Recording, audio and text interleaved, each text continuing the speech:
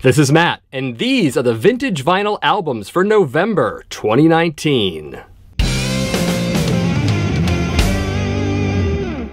From a musical standpoint, Seattle is better known for being the center for grunge music, but they did have a metal scene back then. In addition to acts such as Queensryche and Metal Church, Seattle is also the source of an amazing power thrash band whose debut album should have gotten them a lot more mainstream attention than it actually did. Sanctuary formed in 1985, put out a couple of demos in 1986, and was signed to a major label in 1987. Helping some of that along was Dave Mustaine, who heard their demo and came on board to help produce their first album along with Paul Lani. On top of that, the recording of Refuge Denied was completely financed by Megadeth's manager, who later became Sanctuary's manager as well. Yet another connection to Megadeth can be established by the latter taking Sanctuary out on tour, along with Warlock. I saw this tour in 1988 and was blown away by Sanctuary's performance. So much so that I soon after bought their record purely based on that single show.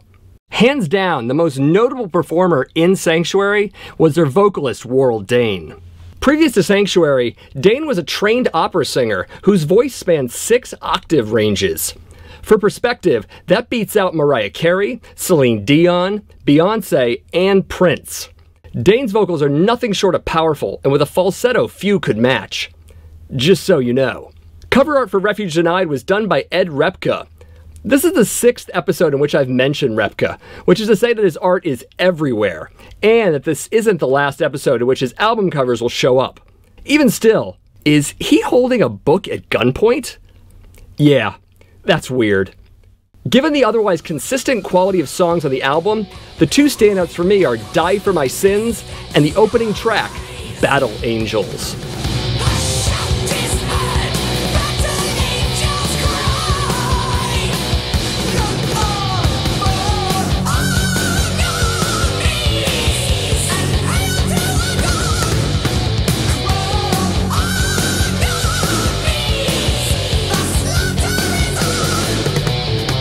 As I mentioned before, Seattle is better known for grunge, and because of that, their label pressured them a great deal to fit into the mold of that musical direction, which is ultimately what broke up the band in 1992. Breakup aside, I'm glad that Sanctuary never dabbled in grunge or alternative music, given the futile attempts by other hard rock and heavy metal bands that decade. Yes, even Queensryche. Of course, the true spirit of Sanctuary carried on for a couple of decades under the Nevermore name, having released seven studio albums between 1995 and 2010. If you like Sanctuary, you are highly encouraged to check out Nevermore as well. In 2010, after a few reunion performances, Sanctuary ended up reforming, similar to classic lineup Kiss in the mid 1990s. Two albums were released in 2014 and 2017, respectively, and there's even news of a new album in 2020. Of course, some of you are probably wondering how a new Sanctuary album can happen, given that Warrel Dane is no longer with us. Dane was struggling with a number of health issues during the 2010s, largely due to alcoholism and diabetes. In December of 2017, Warrel Dane died of a heart attack at the age of 56. Despite Dane's death, the band forges on and is toured with Witherfall vocalist Joseph Michael. In the summer of 2019, the band performed Refuge Denied in its entirety on select dates.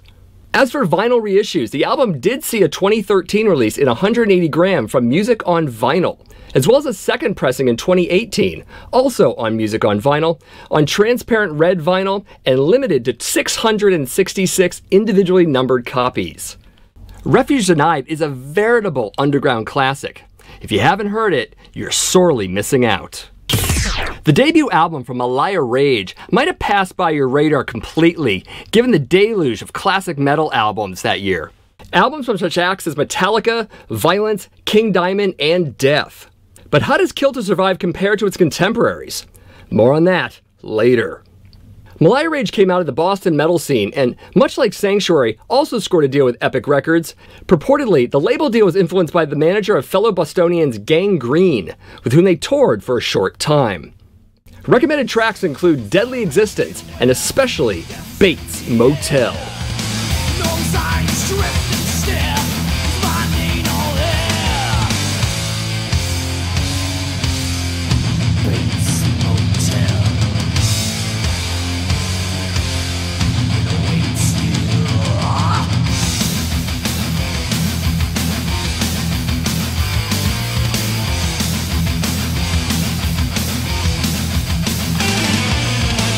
Meliah Rage has often referred to as a thrashier version of Metal Church, an observation that might have been further solidified by the two bands touring together in 1989. And while there are some similarities, particularly from the David Wayne era Metal Church, Meliah Rage have enough of their own thing going on to avoid being called a clone band. This album tends to get a little bit criticized for being too short, but you know what other album is too short? Reign in Blood. And Meliah Rage's record is actually five and a half minutes longer than Slayer's classic and admittedly superior album. Artwork for the cover of Kill to Survive is by otherwise unknown artist Jim Meehan. Great cover, and no doubt considered politically incorrect in modern day. But does that even matter? I don't know. Let me know in the comments what you think about that. The most recent pressing of Kill to Survive was issued by Hammerheart Records in 2018 in both clear and red vinyl versions, and includes the bonus track, Kill to Survive. As of this recording, it doesn't appear to be available at their website, but copies of it are to be found on eBay, if interested. Some might have assumed during the rise of grunge that Meliah Rage was yet another band that happened to break up. That wasn't the case. They've been around this whole time, having released eight more studio albums, including the equally classic 1990 follow-up to Kill to Survive, known as Solitary Solitude. Their most recent album, entitled Idle Hands, was released in 2018. 1988 gave us a slew of classic metal albums, and while Kill to Survive might not measure up to the best of those offerings, it is a respectable metal album, with a dedicated cult following, and is well worth the listen. So yes, their album art wasn't the most amazing out there. And yes, they were lampooned by Beavis and Butthead. And yes, their singer really doesn't look like the voice he has. But Grim Reaper's second album isn't necessarily a laughing matter. In fact, it's got some solid metal offerings, and might even be a step up from their debut record, See You in Hell. While a lot of bands in 1985 were striving for more extreme sounds, Grim Reaper followed the path they knew best, which was belting out straightforward heavy metal songs. Given that their roots were in the new wave of British heavy metal scene, they're often more embracing of the metal part of that moniker than even some of their fellow scene mates. And something else those two aforementioned MTV cartoon characters might have missed is that Fear No Evil did chart on the Billboard 200, where it spent an impressive 14 weeks. Not bad. And even though their first album charted higher, Fear No Evil is simply the better album. It's heavier, darker, and stronger than its predecessor, not to mention superior riffs. And this album's title track doesn't repeat its name 37 times either. Notable tracks include Fear No Evil, Lord of Darkness, Your Living Hell, and, regardless of its completely goofy intro, Final Scream.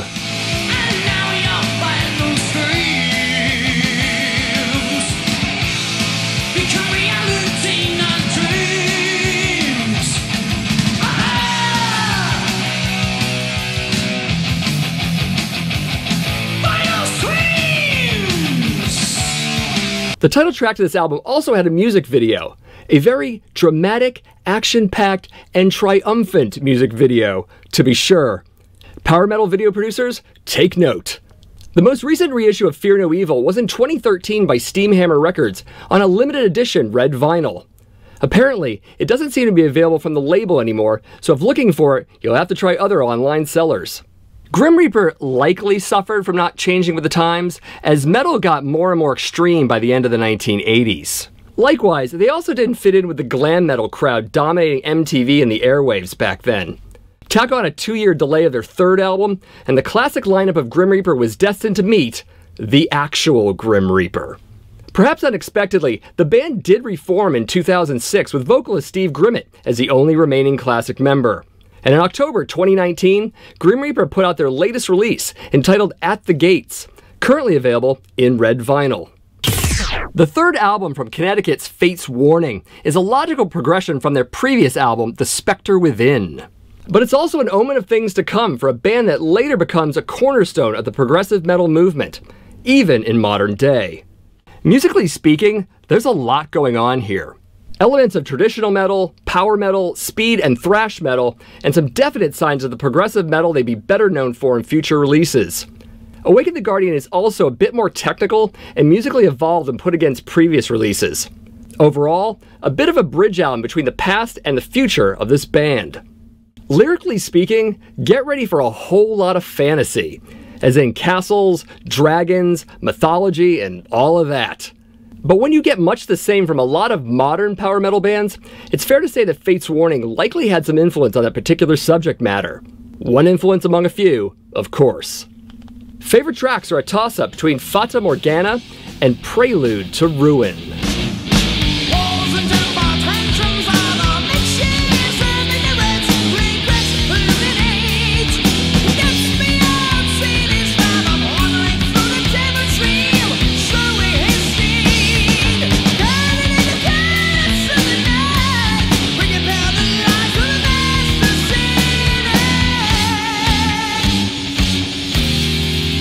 This is the final album with vocalist John Arch, whose vocal style might be akin to a shriller version of Bruce Dickinson at times, and made more evident by the remaining Iron Maiden influence in their music at this point. Unlike Dickinson, though, Arch's singing is met with some rather polarizing opinions. Some love it, some really hate it. And the latter is often the reason some listeners totally and unfairly dismiss the record. Arch's replacement singer, Ray Alder, has a different style of vocals, and many Fates Warning fans go with either Arch or Alder. Which one is your favorite and why? Let me know in the comments below. The album did pretty well following its release, having spent four weeks on the Billboard 200 chart. A first, not only for the band, but a first for any band on Metal Blade Records. Awaken the Guardian has been reissued numerous times on vinyl from Metal Blade, notably a 2005 picture disc, a 2012 limited edition remaster available in black, blue splatter, violet, and transparent blue vinyl versions, as well as a 2016 reissue in blue, green splatter, and black vinyl variants. Although some might be put off by the constant time signature changes and complex arrangements, maybe wanting more of a meat and potatoes metal record, Awaken the Guardian is a notable album, defining standards in both the power and prog metal genres that are clearly evident in many acts today. Twisted Sister's sophomore effort isn't just a great album, but it's a true statement of intent. An album that not only improved upon their debut release, but did it with crushing anthems and blistering guitar riffs that clearly showed this band to be a lot more than simply cross dressing gimmickry. Finding some success in, of all places, the UK, Twisted Sister got signed to Atlantic Records International, despite the CEO of the American office previously rejecting the band multiple times, and whom, according to Dee Snider's autobiography, really did seem to have it in for them. He wasn't a fan, to put it mildly. The album spawned three UK singles, I Am, I'm Me, and The Kids Are Back, as well as one for the title track, bringing the album to number 14 on the UK albums charts. As some might know, it would take their following album to have a comparable, if not greater impact on US audiences and album charts. As for my preferred tracks, it really is the first and last songs on the record that stand out. That's The Kids Are Back and the title track to You Can't Stop Rock and Roll.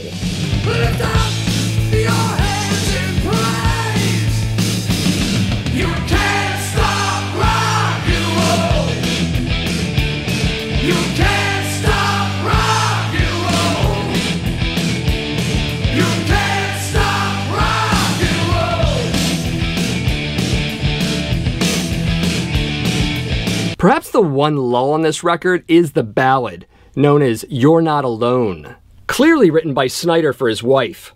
It's not terrible, but it's a sharp departure from the rest of the record. The record was produced by Stuart Epps, who also has writing and arrangement credit on the album. Epps is best known for producing Led Zeppelin's Coda album, but also did production work for Elton John and Wishbone Ash. And despite the difference in music between those acts and Twisted Sister, Epps really did bring out the best in the band. Certainly miles beyond the terrible mix of their otherwise enjoyable debut record. You Can't Stop Rock and Roll is definitely the album that got me into Twisted Sister and further into heavy metal in general. Seeing the video for the title track blew my then 15 year old mind, and I rushed out and bought the record that same day. Pretty sure I also made my first battle vest shortly after, in total emulation of them in this video. All these years later, this album really still holds up, even in the way their later releases might have not. The one vinyl reissue from this album came out in 2011 by Back on Black Records on 180 gram clear vinyl, which also included three bonus tracks One Man Woman, Four Barrel Heart of Love, and Feel the Power. tracks that were previously available on the 12 inch single for the title track of the album. You Can't Stop Rock and Roll was simply lightning in a bottle. Mixing their previous punk flirtations with the burgeoning 80s metal sound, Twisted Sister created a criminally underrated collection of tracks that stand to this day as their heaviest and most sincere album. Highly recommended. The follow up to Testament's landmark debut managed to wildly surpass its predecessor, and then firmly establish itself as an indisputable thrash metal classic.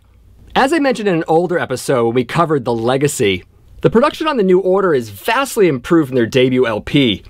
Once more, Alex Perialas was at the production helm, but simply did a much better job this time. Also of interest is the choice of assistant engineer, who was none other than Raven drummer Rob Wacko Hunter. Perhaps better known from his own band, he also helped produce a number of albums for bands such as TT Quick, MOD, Flotsam and Jetsam, Violence, and others. One omission from the final track listing was the song Reign of Terror, which was recorded during the New Order sessions. Luckily, that version made it to the single for Trial by Fire, and earlier as a live version on their Live at Eindhoven EP. It's a decent track, one dating back to their days as Legacy, and should be already known by serious Testament fans. If not, definitely seek it out. This entire album is amazing, so picking favorites is difficult. But if I have to, it's Trial by Fire, Into the Pit, and Disciples of the Watch.